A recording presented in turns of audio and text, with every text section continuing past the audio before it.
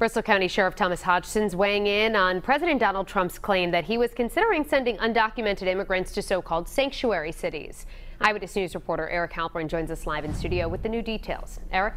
Shannon Sheriff Hodgson has been a long-time supporter of President Trump and his immigration policies. Despite the White House saying the sanctuary city idea was never seriously being considered, the president's tweets say otherwise, and Sheriff Hodgson seems to be in favor.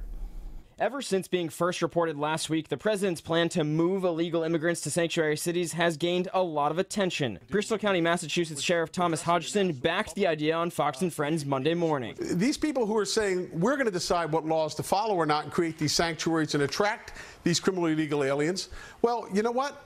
God bless them. They can they can have those people in their communities, and and why should we punish the people in those communities where the elected officials are standing with the president to uphold the laws of this nation? They have a right to be safe. Hodgson visited the White House in February, meeting with the president and other sheriffs about border security. On Monday, the president tweeted, "Those illegal immigrants who can no longer be legally held will be subject to Homeland Security given to sanctuary cities and states."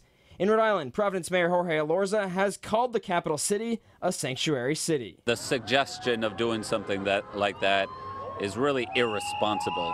As an executive, as a leader, to think that you would put um, make people or use them as bargaining chips, that's just irresponsible. Keep in mind, if these people are pushed to the sanctuaries, be much easier for ICE. We'll know where they all are. And Mayor Elorza also questioned whether the president will follow through with this, saying he wants to see more details before he takes the idea seriously. I'm Eric Halperin, Eyewitness News.